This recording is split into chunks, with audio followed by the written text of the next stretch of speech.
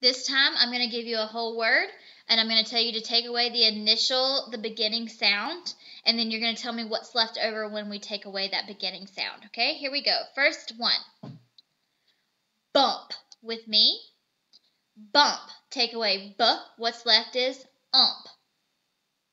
Must with me. Must. Take away mm. What's left is ust. Runt with me.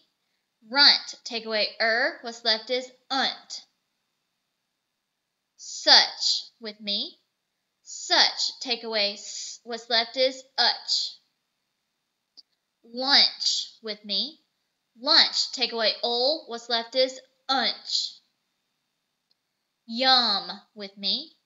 Yum. Take away y. What's left is um. Hug with, with me. Hug. Take away what's left is ugh.